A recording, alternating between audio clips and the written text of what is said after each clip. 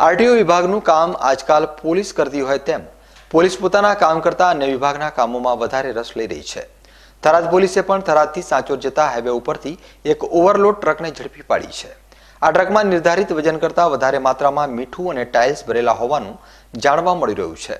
Police આ ત્રણેય ટ્રકોને ઝડપી પાડ્યા બાદ થરાદ પોલીસ મથકે લાવીને વધુ કાર્યવાહી હાથ ધરી છે.